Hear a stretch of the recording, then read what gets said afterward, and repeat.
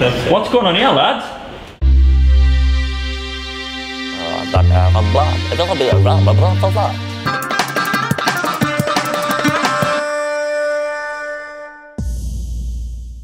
Hello, here I am with uh, bowling coach Otis Gibson, the guru, the doctor, whatever you want to call him. The thing I've heard all summer from Otis, hold your length, hold your length, Woody, hold your length.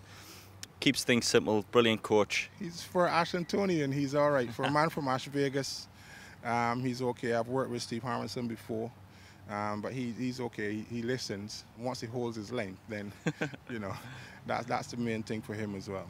Sometimes it's not all about the, the end outcome, it's, it's how you're feeling when you deliver the ball. So to get us in a good position, this is why I work with this man, and uh, he's top draw. I've spent probably 20 minutes, that was all, not very long, just focusing on little things. It wasn't off a big run up and it wasn't off probably the match intensity that you usually bowl with, but it was the right sort of intensity for training and to get myself and my body ready for the match situation. Drill one was the TheraBand, where I was pulling it into my side. That was just a drill to, to work that front arm and getting it driving right through, which allows my back leg to come through, which of course gathers your pace. Drill two was bowling into Otis's mitt off one step. Basically all that's doing is getting your body going, getting a run through, knowing that the ball's coming nice out of your hand, out of the seam. A uh, couple in swingers, couple out swingers, just checking that everything feels good. Drill three, the hop and hold. Again, back leg stability. I've got quite a big jump when I bowl. That back leg stability needs to be strong to allow us to take all the weight and also to drive over. So I also put the, the sponge down next to my foot so that um, I can practice with my foot landing straight. When I bowl in the game, I tend to land on the corner and splay a little bit. Um, so having that sponge um, thing down and not running off my full run up allows us to practice with my foot dead straight and then hopefully come the game I'm not as splayed as before and I'm somewhere in between which again helps look after my ankle. Drill four ball throughs.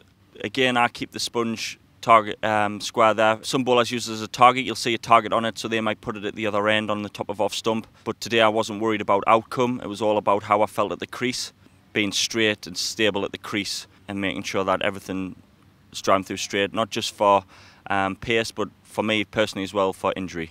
Drill 5 is without the sponge uh, square there and it's basically just a ball through. It's working on everything technical that you've done in the session, trying to put it all together and seeing how it, how it feels typically I would do these sets of drills probably about two times a week, I would say, and then couple that with your your nets and your match practice. Um, it all builds up. It's all to help for me with my, my ankle and my injury, um, but also to, to know that I'm in good rhythm. Uh, I find that when I do these drills, I feel taller at the crease. Um, I feel in a better position, and I definitely feel stronger. So um, all these little things help to hopefully become a better bowler out in the middle. James Taylor, aka Titch, is batting out in the middle during this practice game. But check out what we did to him in practice. I think uh, the pictures speak for themselves. There's going to be something to do with the gorilla.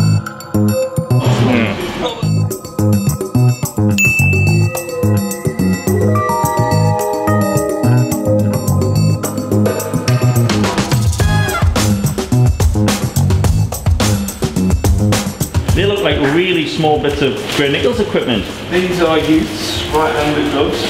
Funnily enough, doesn't James Taylor use Gray-Nicolls? He does, yeah.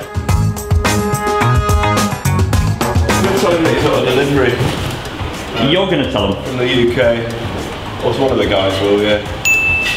And hopefully he's going to open it thinking he's got a present, a nice little gift from a sponsor or something, and then uh, he'll find the gifts that we provide for him.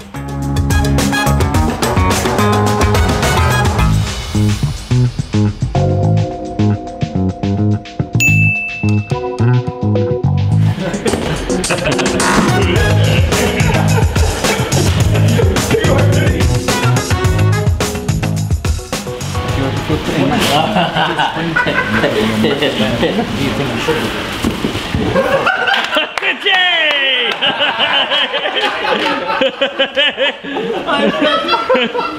us what you got, mate.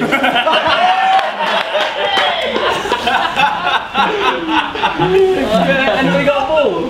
What else? What else you got? Like, this is cheer shot. There's more stuff in there, but I think. What have you got to?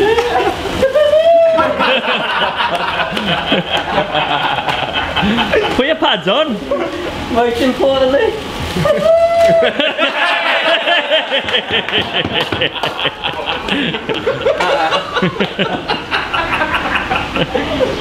Clear shot. I hope you enjoyed uh, that prank on James Taylor as much as we did. For a chance to win the kit in the video, signed by all the England lads, send in your best horse celebration, either a video or a picture to at England Cricket. I've noticed a lot of people commenting on uh, Jos Buttler's sports bra during the first blog. Um, there is a reason why we do wear them. Um, they're sort of GPS tracking devices.